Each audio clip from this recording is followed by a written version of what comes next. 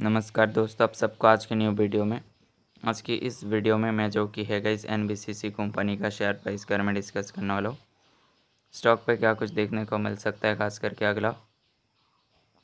First जुलाई के दिन के लिए तो वीडियो को एंड तक ज़रूर देखना, मैं इसका एनालाइज कर रहा हूँ। जो कि कर रहा होगा इस देख सकते हो फिफ्टीन मिनट का चार्ट पे तो यहाँ से काफ़ी बार स्टॉक सपोर्ट लेता हुआ देखने को मिल रहा है, यहाँ से देखते हैं। तो इसका रेजिस्टेंस अगर देखा जाए काफ़ी स्ट्रॉन्ग वाला तो one hundred fifty nine point zero five पे है काफ़ी स्ट्रॉन्ग रेजिस्टेंस सपोर्ट देखा जाए तो इसका पहला सपोर्ट है one hundred fifty four point ninety पे है। तो पहला सपोर्ट का ब्रेकडाउन आता है।